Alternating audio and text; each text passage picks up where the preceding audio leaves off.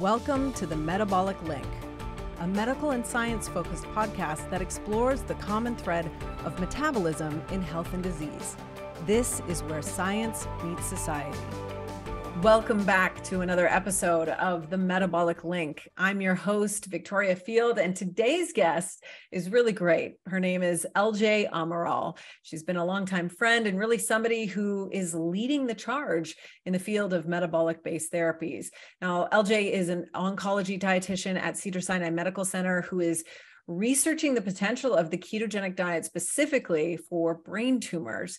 Today, we dive into her background, how she came across metabolic therapy, how she's implementing it into practice, um, and also some of the exciting findings she's been able to come across through her research. I hope you enjoy this conversation as much as I did. Hi, LJ. Thank you so much for joining me today. I'm really excited to dive into our conversation all around metabolic therapy within oncology. Thanks so much. Likewise. Thank you so much for having me. I'm really excited to talk about this. It's something I'm super passionate about and you know, I've been doing for the last 7 years, which is crazy. Um, but yeah, I'm I'm really excited to talk about this, especially in the context of oncology because I feel like it's just really growing and it's been growing for the last few years. Yeah, and it's been kind of a it's been so fun to be, you know, know you since you've kind of dived into this world of ketogenic therapy and just what you've been able to accomplish in such a short amount of time. Um, we're now going on two clinical trials using metabolic based therapies for cancer, and we'll definitely dive into that. But I kind of want to to start bring it back to the beginning. You're, of course, a dietitian. What sort of inspired you to jump into the world of dietetics. Um, and then we'll kind of transition into how much things have changed for you over the course of time. Yeah, I, it's been a crazy journey for me. You know, I grew up, my mom was super passionate about food. She was a chef, you know, back in her early 20s and 30s. And so food was always a, a big thing in my household. And so, you know, just going through my studies, I was really interested always in science uh, I thought I wanted to be a doctor. And then, you know, I, I took a vitamins and minerals class and thought that it was so cool that you could really enhance your health and promote or prevent a lot of diseases with your food choices. Um, and so I started to, you know, pursue nutrition.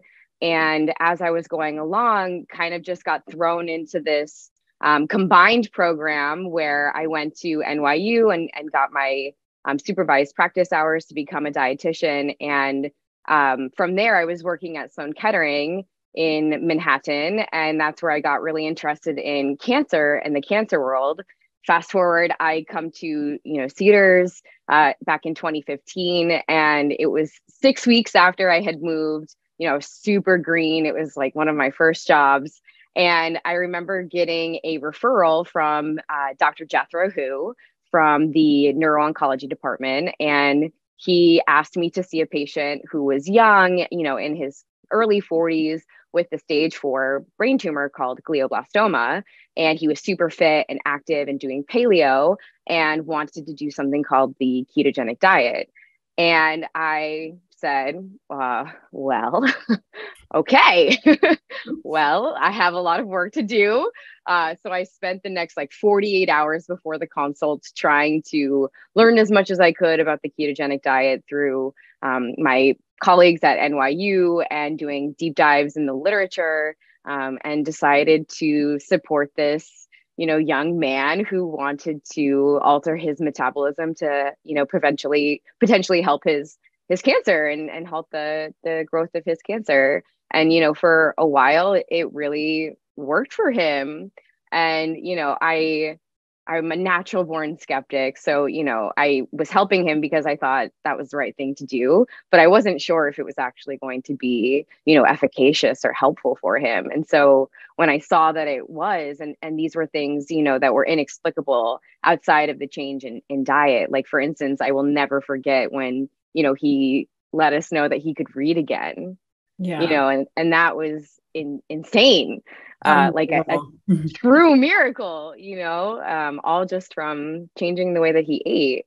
And then, you know, we started to recruit more patients. You and I got connected, you know, and I feel super grateful for that because I feel like, you know, you just really helped me get into this and and see it for what it is and how much it could be helpful for people and you know we we helped 12 people in that initial trial in that pilot study which brought us to the phase 1 trial which we just completed. You know we had 17 patients do this 4 month ketogenic diet with glioblastoma. And you know because we had really positive results from that we're going to move on to this phase 2 you know looking at is this actually efficacious for people who have glioblastoma? And can this actually help with you know enhancing their standard of care with chemoradiation yeah it's been a it's been a wild ride since um, first kind of connecting through all of this and um, just seeing how much potential it has and experiencing things like you know patients being able to read again or seeing maybe some tumor changes in a positive way that you don't maybe traditionally see with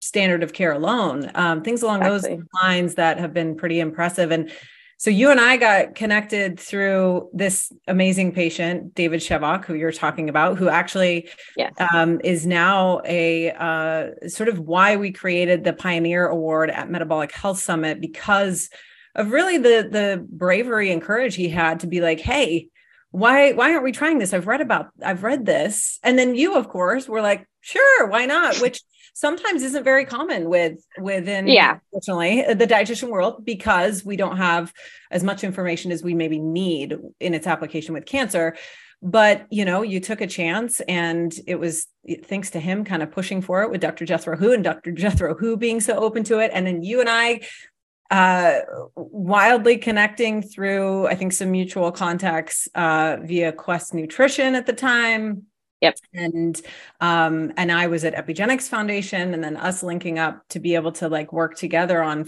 you know being able to implement this into into the real world, or at least with patients who were interested, excited yes. about nutrition as a tool. Um, but at the time, this was years ago, and there weren't real too many uh, tools out there for for exactly. patient, but also the dietitian. So, what has it been like for you with, um, you know, really adopting this this sort of um, i guess therapy?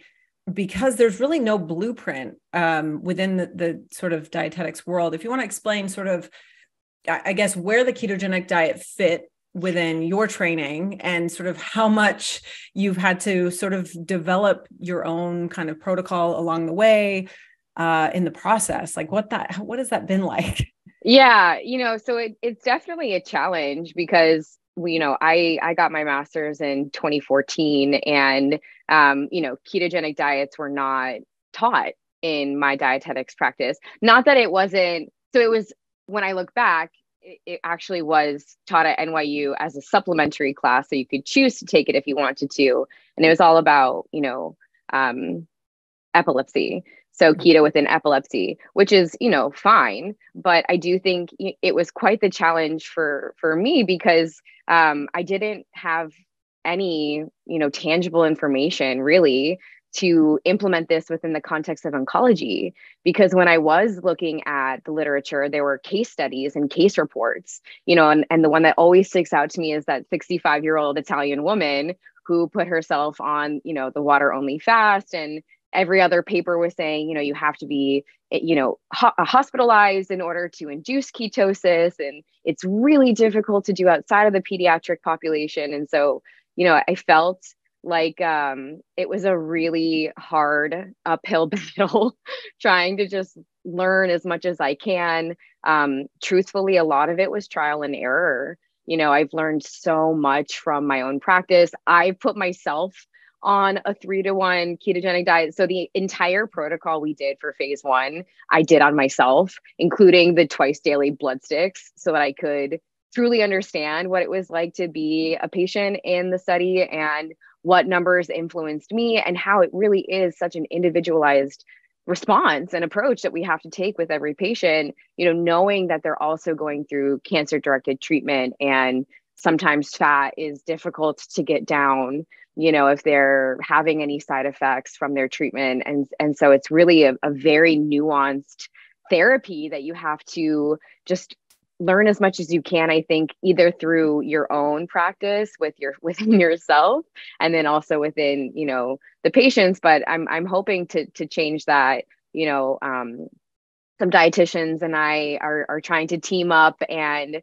um, educate more dietitians, you know, throughout the country on ketogenic metabolic therapies and how it can be beneficial for certain disease states. And you know, we're talking about you know creating this manuscript to share with um, people who are interested in implementing it within the oncology setting, so that there's you know a step by step kind of manual um, in terms of how to best approach you know implementing the diet within patients who are undergoing treatment as well as you know for survivorship yeah, that's great, which is it's such a needed resource in the world um, for sure. And it, it's such a, a new idea around being able to i mean cancer metabolism is something that's of course that area of research is exploding is really exciting to see how um, big a, a, part of the conversation nutrition is in the mix of everything and and how much potential it can have therapeutically um, i think it's you know it, it must have been kind of scary to dive into using ketogenic therapies for cancer when there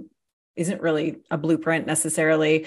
Um, what was that like, I guess, in, in trying to help patients stick to the program, you know, motivate? I, I feel like it's this huge piece of empowerment. Um, and that in and of itself can really offer so much to somebody who's in such a scary time already and kind of feeling a little bit helpless in their situation, kind of give some of their power back. Do you want to speak to that sort of initial process of transitioning these patients that we worked with initially, like in the sort of first uh, first trial or pilot study, if you will, um, and what that was like to to help these patients onto that protocol when you know it was a very new thing uh, for you and just in in the world in general yeah. Yeah. So, you know, I think it's it's super there's so many layers to it, right? Because um especially for, you know, certain generations, it's really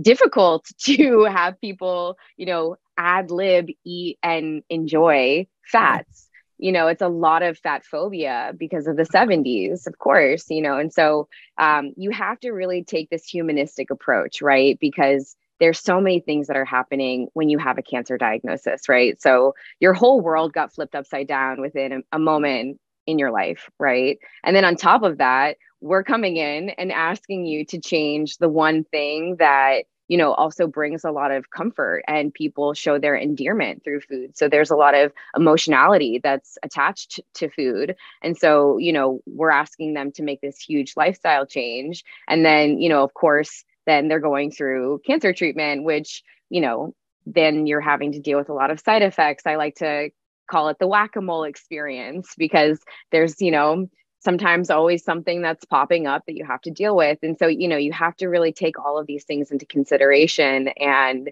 meet the patient where they're at, you know, and then from there, exactly like you're saying, really encourage them. So I take a lot of time to educate my patients so that they understand what they're doing for themselves. And so when they make their choices, they are conscious of the fact that they are choosing to, you know, help themselves in a very, very, very um, healthy and, um, in my opinion, powerful way, you know.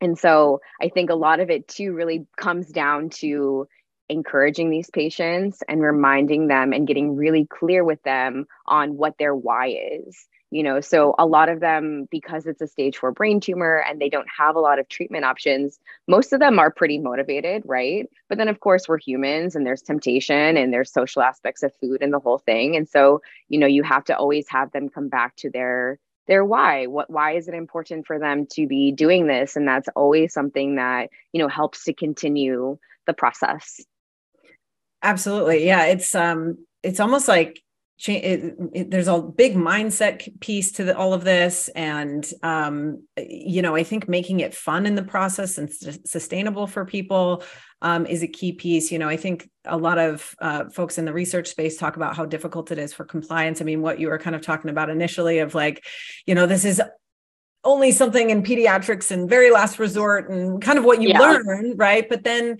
as you sort of try to meet the patient where they're, they're at like you've done such a great job with you understand that you can kind of open this up to making it making it something that they can be a, a part of despite the fact that potentially in the last 24 48 hours their life has been completely flipped upside down i mean um, many of these patients, like glioblastoma patients, they'll go and have a seizure. Everything's normal, have a seizure, yep. and go in for a brain scan, and that's how they find it. And this can happen within a matter of days, and your life right. is completely changed. And you know that's um, really scary. So to to for you to come in and be like, okay, hey, there's something we can do together. We can make it fun and exciting, and learn, you know, more about your body in the process. That's that's huge and such a an amazing piece that I think you've been able to develop over the years too to to really help people stick with it and make it you know something that can, I think because sustainability with this um, therapeutic approach is something that's so key that you know you can get somebody to transition maybe onto a, like a four to one or three to one or whatever the case may be. But if you're not really meeting that person where they are and kind of helping them with making substitutions and exactly tailoring this to the individual really it, it yes. becomes very difficult exactly oh, yeah. yeah exactly and and you know i think one of the biggest things is exactly what you're saying is we take this approach of well what can i have let's right. focus on that and then right. you know I, what I, exactly something i think is massively important though is that for patients to when they have that initial consult when they decide to do this therapy what's their number one thing that they're going to miss you know it, it's always one of the the few you know it's like right. rice potatoes or um, like a pasta right like something like that and so you know it's my job to then find recipes that can match that right? right? Because that's what's important in terms of sustainability is finding things that promote that normalcy, you know, because cancer isn't normal, right? And like that just sucks. And I'm sorry. And so let's do something though that can still bring you comfort and control. Totally. You know, yeah in the process. Absolutely. Bring out the spaghetti squash and all the fun substitutes. yes. Which give I'm me the noodles. Yes. give me the miracle noodles. Yeah. Cauliflower rice. We like you. Yeah. Right. Yes. All the cauliflower things. No, for sure. It's um it's such a hard process, but it, it can be something that can be made to be fun with with the pay. I mean, as fun as it can be when you're dealing with something so terrible like that. Um exactly. But there are ways to go about it for sure. And and um so talk a little bit about, you know, the sort of the results of that that pilot study, the clinical trial you guys have initially um, published, and what you're trying to get out of this next uh, clinical trial, or what you've you have gotten out of this next clinical trial. Share some of the the really great. You kind of briefly touched on it. Um, but share some of the really great results that you've found and and where there are some holes that we've got to learn and maybe do a little bit more work Sure. So from the pilot study, we had a lot of, you know, it was a small pilot studies. So of course, you know, we're, we're talking about, um, you know, small changes that we've observed in, in the patient population that we picked essentially. And so, you know, a lot of these patients had improvement in their symptoms or especially within, you know, of course, their seizures. Um, what we thought was interesting was things like fatigue and um, strength improved or was stable throughout their treatment which we don't typically see you know and then just you know picking out some people who are off the top of my head you know like so for instance dave you know he had a tumor where it uh, affected his ability to read after he started keto he was able to read again. You know we saw these kinds of things with other you know physiological changes and improvements. So i'll never forget one of my favorite patients. Uh, he was 28 years old with a glioblastoma and he had um, left hemiparesis. He had a foot drag and you know he was pretty fatigued. Um, he would always come to clinic kind of dressed in sweats and um, after he started the the diet, he not only you know was able to start running again, he was able to start painting his figurines again, which you know includes a lot of fine motor skills. He was able to fly to two of his um, family members' weddings by himself and give speeches, you know, and his family calls that his miracle summer um, because he didn't have, you know, a better quality of life than when he was on keto. Um, and then, you know, so that prompted us to do this phase one to assess safety and efficacy within the population who are getting, you know, the six weeks of um, oral chemotherapy, temozolomide, and then the six weeks of radiation. And again, you know, we saw people who had um, either stable or improvements in their cognition and their um, their fatigue, which again, we typically see, you know, a decrease in that as patients are going along. And then, you know, in general, we just saw people getting through treatment better. You know, they had less side effects, they were having more energy levels. Um, and they were really able to tolerate the diet. You know, we had a lot of great compliance, which I know is not like the norm. Um, but, you know, we do really see that you know psychosocial support is important. You know you can do the diet of course but it's hard going through cancer treatment and then also trying to you know get all of your meals and, and things together because it's a little bit more nuanced and difficult to you know just do the diet when it's a little bit you know more restrictive. And so having that help can be really important for people. And then of course having you know a lot of check-ins and, and motivation and having people understand, understand that, that they, they will be held accountable you know for um, their you know dietary choices because we're checking in. And so you know i'm looking at their glucose and ketone logs. I'm looking at their food diaries. And so you know when you have that i think people are even more motivated to stick with it. So we had a lot of um, success with that. And so now we're going to do a multi-center study where we're looking at a larger group of patients um, and we're going to actually look at if this has any effect on the tumor size and tumor burden um, for patients. Which is great. Um, it's so exciting. Some of those initial results that you guys got out of the pilot study are just, I mean, you know, regaining the ability to read and, uh, you know, improving fatigue and all of the, those are big deals when it comes to um, go also simultaneously going through cancer therapies at the same time. Um, for maybe a dietitian who's listening who understands the potential application of ketogenic therapies in epilepsy because that's something that's been used for over 100 years as a, a possible line of defense. Usually unfortunately uh, after um, pharmaceutical interventions have failed.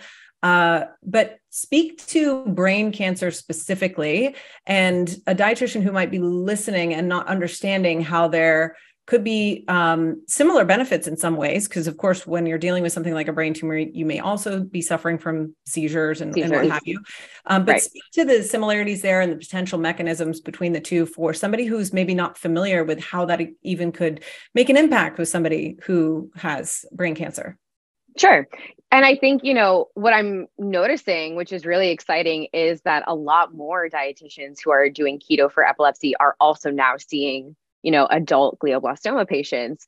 So mm-hmm. i'm i am really excited about this and i do think that there's a lot of um, potential and and that there's there's going to be a lot of crossover. But you know so what we see of course is that patients do have a lot better seizure control. So we have patients who will have seizures of course because of where their tumor is located but it does help to change their neurochemistry to make it less favorable for them to be having a seizure in the first place. And especially for people who have like a lower grade glioma um, or an astrocytoma, you know, who have longer lifespans, frankly, you know, they also have a lot of seizure disorders. And so they really benefit from going on, you know, a, a low carb ketogenic diet, maybe not a three to one, but definitely at least a one to one or a two to one. So not only are they getting the seizure benefit, but also, you know, we're, we're not talking about meats, butter, and cheese, right? Like that's like my one shtick is like keto is not all just meat, butter, and cheese. Like, sure, they can be components of it, but that's not what we're focusing on. You know, so we can actually benefit them in terms of lowering and decreasing the amount of inflammation that they're having or cerebral edema. You know, of course, if we're trying to manipulate their metabolism where they're producing more ketone bodies and less glucose, then we're manipulating the amount of nutrients that are going to the tumor cell, which then changes the vasculature or the amount of blood vessels that are going to that. That changes the amount of oxygen that is going to the tumor. You know, there's a lot of different benefits. They're looking at BHB or beta hydroxybutyrate, a type of ketone body acting as an antioxidant. So then, you know, scavenging the the free radicals and protecting our normal cells, which, you know, of course is very beneficial after a cancer directed treatment because there's a plethora of free radicals so, you know, I think there's also yeah. a lot to be discovered um, in terms of the benefits, you know, just looking at even thinking of like short chain fatty acids and how that can be beneficial for one's health. And that's going to be abundant, you know, from eating a lot of um, butyrate and um, healthy fats throughout the ketogenic diet. Um, so, you know, in terms of cancer and brain cancer, I think there are a lot of health benefits. I do think that there's a lot of room for um, more research, of course, in terms of uh, more benefits. Um, Dr. Scheck has an amazing um, infographic on how keto is really helpful for cancer. And then also, I love um, Dr. Barbara Kofler's study on keto and cancer. Where do we stand? Because that also provides a lot of um, evidence in terms of um, the types of literature that is available in, uh, for keto and um, different types of cancers if anybody is looking for resources. Absolutely. And you um, just were diving into different sort of um, types of ketogenic diets for epilepsy and, and brain tumors. You're referencing one to one two to one three to one four to one. You know you and i are very familiar with the, those terms. Um, can you explain that for those listening? What sure. does that mean? And also what does a protocol you know of course we're we're not giving medical advice on this podcast um, but uh, what does it look like in terms of transitioning somebody onto a, a ketogenic diet specifically for cancer? If you want to kind of explain that Sure. So to the first part, um, the one to one, two to one, three to one, those are all talking about the ratios of fat to the ratio of um, the grams of carbohydrates and protein combined. So something like a three to one ketogenic diet, which we consider to be a classic ketogenic diet, is something like 82% of your total calories coming from fat. right. um, and so, you know, the point being though is that with the four to one to one to one, there's the MCT oil diet, there's the low glycemic index uh, treatment diet. There are multiple ways for people to get in and to sustain ketosis. And so for the the higher ratios, I'm not sure if that is necessary for cancer, whereas it is a necessity for, you know, inborn errors of metabolism and epilepsy. So I'm not sure if, you know, a cancer patient would benefit from something of like a four to one ratio. Um, so, you know, that being said, I, I don't think that there's like a, a one size fits all in terms of a ratio for cancer patients. It really depends. Um, I found that, you know, of course, people's metabolisms are extremely individualized. And so, you know, you can have somebody, you, you know, two people eating the exact same food on the exact same plan and have radically different ketone and glucose numbers. So, you know, I, I kind of try to go based off of what's going on with them currently, where they're at with their treatment plan, where they're at with their weight and their goals, and then also, you know, are they are they able to easily produce ketones or not because that would really influence the amount of fat that I would recommend that they would eat. Right. And you're also looking at, like, of course, blood values of ketones and glucose and seeing, because, you know, you've got people who maybe can reach uh, certain levels of ketones and lowering a blood glucose eating a two to one ratio versus exactly else, like you're saying, you know, has to kind of really dive into three to one and higher to get certain numbers. And two, there's like sort of benefits to understanding, you know, lowering blood glucose or insulin and the benefits of that. And separate to that, the benefits of ketones in and of themselves and what the research is exactly. showing about potential anti-tumor properties with, you know, beta hydroxybutyrate and what have you. So it's right. really interesting. There's so many unknowns, and that's why it's so important the work that you're doing at Cedar Sinai to be able to have these clinical trials and and you know one to understand the safety and you know potential efficacy of that, but to be able to implement this into the, the real world, we have to have that kind of research. So, uh, which is what you're doing, which is so exciting, and and also taking that dietitian approach of like how to make this sustainable at the same time and I mean, in your opinion, and working with uh, however many cancer patients you've worked with now uh, with this metabolic therapy how how feasible is it uh, when you're dealing with something like a life threatening diagnosis and trying to completely change your lifestyle at the same time? You know is it as hard as maybe some researchers think it is? And what would you say to those folks who are uh, apprehensive about trying it because they are worried it's such a difficult diet especially dealing with something like cancer yeah. And you know, it is valid. I mean, I'll tell you, it is difficult. Yes. For sure. It's not a walk it is. I'm yeah. not gonna lie to you. Sure. But you know, it also can be easy. Mm-hmm. It can be feasible, you know. So I think that it's it's really important for for cancer patients in particular to not do this alone honestly just because it, it really is it's super nuanced there's so much that goes into it there's a lot of planning so the first thing I'll say is I, I don't recommend doing this like without any um, supervision or without you know any guidance. Um, but you know, I do think that it it can be easy to go into. You don't have to. I don't recommend a night and day approach. You know, so if you get diagnosed, I don't think that you need to overnight you know change everything um, you absolutely can if you plan it correctly um, but i don't recommend pro, it right? exactly because right. you know it increases your your risk for the keto flu which doesn't feel good i did it myself and it feels terrible and then that you know throws people off because they're like, well, hey, I'm supposed to get a benefit and now I feel worse. Right. So, you know, I try to avoid that at all costs. Yeah. So I try to be a great tool, right? For that. Exactly. Exactly. yeah. So like if you if you wanted to, you know, restrict your carbs and, you know, really focus on electrolytes, um, I, I would re- recommend though doing it in a stepwise fashion. So if you wanted to do like lightning speed, I would say just one day at a time, reduce the amount of carb that you're eating. So, you know, like if people are eating super heavy, high carb diets, it's going to take you about a week, you know, because I, I don't want it to be like, so if you're having, you know, a carb at breakfast, lunch, dinner, you're having soda, you're having sugar, you're having, you know, chips and stuff in, in between. That's a super high carb diet. It's very processed. And so, you know, I don't like to rip the rug right underneath them, especially because that's kind of what just happened with them with their diagnosis you know so it's like nah, it's a little too harsh one step at a time yeah yeah let's let's not do that um so you know just one serving at a time if they can i think that's super helpful you know if you want to incorporate mct oil in the beginning i think that can be really helpful especially the electrolytes, keeping up with hydration, that is imperative. Um, and then for certain people, of course, you know, if they want to do any um, exogenous ketones or, you know, a little bit of diluted apple cider vinegar, that can also be helpful for, you know, increasing the initial ketone production.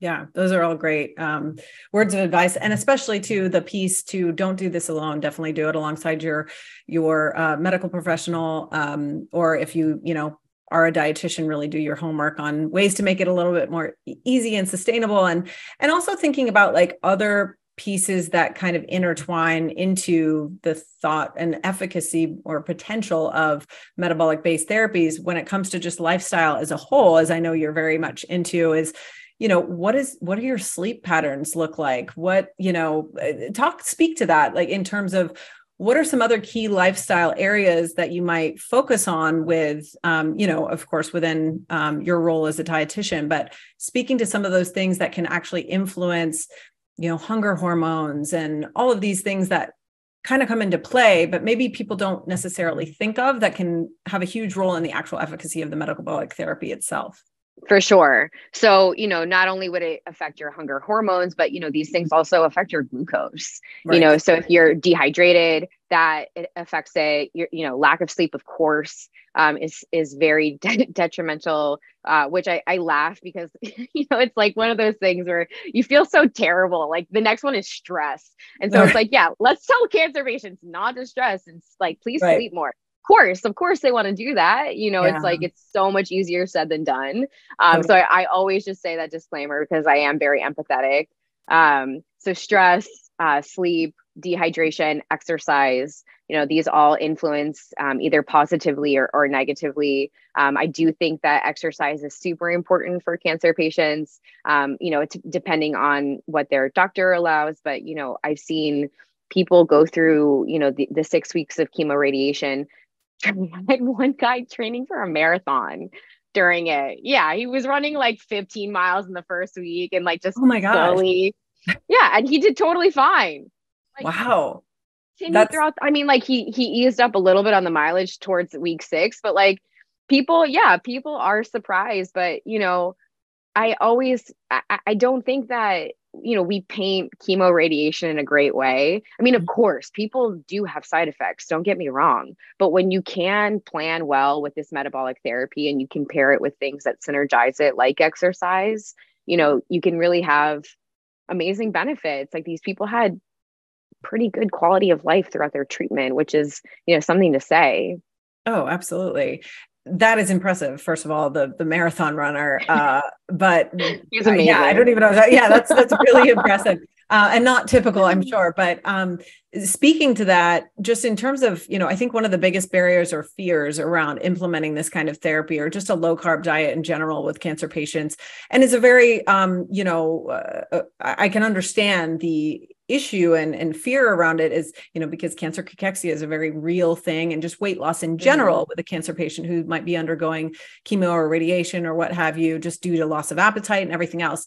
Right. How do you approach that piece of it? Because I'm sure, you know, there are dietitians listening where they're like, well, what about weight loss and sure. the threat of that in and of itself? Yeah. And again, that's valid, you know, because people do lose weight on this diet. Right. And so that's just one of the things, though, that it's imperative that you monitor on a weekly basis. You know, they're coming in every day for radiation. Like you mm-hmm. can make sure that they get weighed once a week. And then, you know, of course, like I'm very cognizant of percent body weight lost, you know, so if they're losing 10% of their body weight in a week, that's like a huge red flag, of course, for any clinician. And so, you know, does that mean we have to stop the diet? I don't know. It really depends on the patient and the degree and the severity of it and, you know, where they're at now. If they're super malnourished and cachectic, maybe, you know, maybe I would add a, a few complex carbs to help promote you know their weight maintenance depending on what's going on but really i can just most of the time increase their calories and they stop and sometimes even increase you know their weight. Also though a lot of times this weight loss is coming from muscle loss. So you know unfortunately that's one of the realities is that a lot of people are very active and then they have a seizure they have a craniotomy and they're inactive and so, you know, muscle is really easy to lose. It's also the most weight that we have. So, you know, it is important to be mindful of what type of weight is being lost. Um, and then, you know, monitoring that making sure you're checking in with the patient um, making sure that their labs are within normal limits they're still you know nourishing themselves but there is a, a degree of weight loss that is to be expected um, and so it's just about managing the risk and how how far it goes I, I have rarely had patients though come off the diet because they've lost too much weight in in a short amount of time. I can count on one hand, and I've been doing it for seven years. Yeah, that's great. That's very encouraging um, because I know that is like, of course, a very, as you mentioned, valid um, uh, potential issue. But of course, when you're being so individualized with each patient, you can hopefully mitigate some of that risk um, going into it and being mindful and weighing and and keeping a close eye on things and body composition as you'd mentioned i think that's a key piece yeah. right yeah, um, because there are studies that actually show that ketogenic diets are, you know, muscle sparing and that they can be actually kind of protective against cancer cachexia. You know, I think that there's, you know, obviously more research that's needed to support that, but I think it's also a very interesting area of research that's going to be growing yeah it's certainly encouraging where the research is headed and that brings me to my my last question for you which is what do you hope for the future of metabolic therapies within oncology and what hurdles do we have to overcome to get there Oy. Just a small well, I know. I'm like, well, yeah. Uh, um, I think we well, another, need another hour for that one, right? yeah, I know. Especially, I'm like still chewing on it. Um, you know, what makes me really hopeful is that we're at this spot. I mean, I I cannot believe, you know, seven years ago, you could not walk into a grocery store and find anything that was keto. I mean, mind you, half of it is a scam, and so I will say that.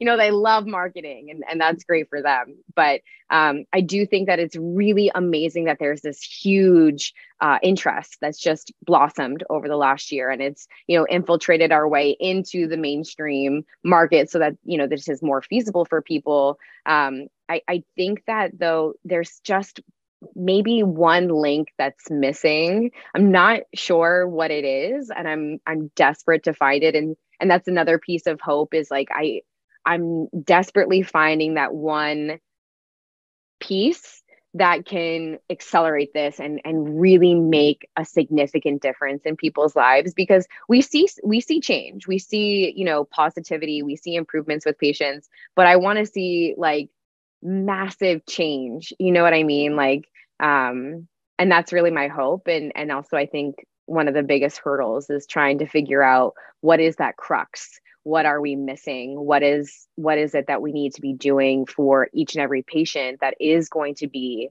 effective you know um, and is it do we have to add exogenous ketones? Are we adding probiotics? Are we, you know, like there are so many unknowns that I think that we need to be asking, uh, which is exciting and hopeful, um, but also big hurdles for us in terms of clinicians, in terms of, you know, how are we actually going to be implementing this within our patient population? Yeah. And everybody's, as you mentioned, is so individual in terms of their own unique metabolism. And there's so many factors at play, and even types of cancer that, you know, may or may not respond to this kind of therapy. There are a lot of unanswered questions, but I certainly feel like, you know the work you're doing and the education um, you know piece to all of that and sharing that work is so key and in allowing for other dietitians to know this is feasible and at least maybe let's have a conversation around food or what the patient is eating just as like a baseline maybe even not necessarily transitioning them onto a low carb or ketogenic diet because there are a lot of unknowns but at least having that conversation around food that sometimes i think is maybe overlooked upon an initial diagnosis like that that you guys are doing such a great job to tackle head on especially when a patient is motivated to want to do it. So um yeah there's a lot of work to be done for sure yes. uh, on in multiple areas but you guys are really doing such quality and great work at, at cedars and you yourself i know have been like championing this through um you know kind of fighting you. for it along the way and and we totally notice that you as well as Dr. Jethro, who have just been such amazing voices within the field for this. And I know that the future is bright, um, thanks to you guys. So uh, thank you for spending some time thank today you. to talk about this. Uh, where can everybody find more information about you, um, the work that you're doing, and some of the uh, research that's coming down the pipeline? Yeah, so um, I I'm at ljamaral.com, and you can find a lot of my different links from there, um, publications, uh, my social media, those kinds of things. But uh, I'm I'm thrilled to have had this conversation with you. Thank you so much for having me and you know, I think Dr. Hu and I um, were really grateful for, you know, our paths meeting so many years ago and the ability to help all of these people. You know, it really, uh, we couldn't have done it without you and and everyone at MHS. And we're just super grateful for everything that you guys do. And you know, to have this conversation is really amazing. And um, thank you. Oh, thank you. The feeling is is totally mutual, and we're excited to continue to follow your work and um, support each other along the way in this crazy field that that um, we're trying to push through. Right, so yeah. we got to do it together. So exactly. so much, LJ. Um, I'll, we'll definitely direct people your way, and uh, we'll certainly be following up on your work soon. But I'll see awesome. you soon. Thanks for listening to this episode of the Metabolic Link. If you're enjoying this podcast, please share it, subscribe, follow, and leave us a comment or review on whichever platform you use to tune in. We hope you'll join us next time.